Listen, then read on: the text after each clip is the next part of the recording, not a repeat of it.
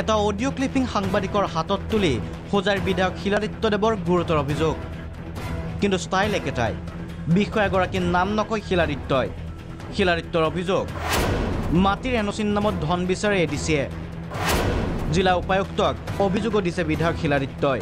এটা audio viral হৈছে আৰু আমাৰ এজন জিলাৰ বিষয়া তেওঁৰ মানে অডিঅ'ত তেওঁ কৈছে যে চাৰ্কেল আৰু মণ্ডল আৰু এইবিলাক কথা কৈছে যে মাটিৰ আবণ্টনৰ বাবে ন' অবজেকশ্যন দিবৰ কাৰণে দুই হাজাৰ টকাকৈ ল'ব লাগে।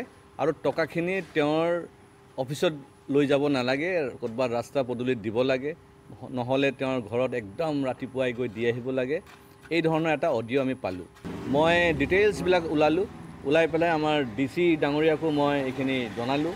ডি চিয়ে মোক কৈছে যে ইমিডিয়েটলি তেওঁলোকে একশ্যন ল'ব।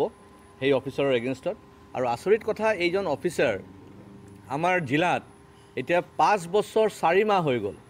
তেওঁ ট্ৰান্সফাৰ হৈ গৈছে হোজাই জিলাৰ পৰা কিন্তু তেওঁ ইয়াতে থাকিব বিচাৰে।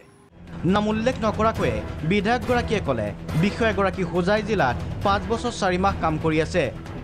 লক্ষণীয় হ'ব বিধায়কগৰাকীৰ এই অভিযোগ চৰকাৰ তথা জিলা উপায়ুক্তই কিমান গুৰুত্ব সহকাৰে গ্ৰহণ কৰে। Bureau' report Prag news.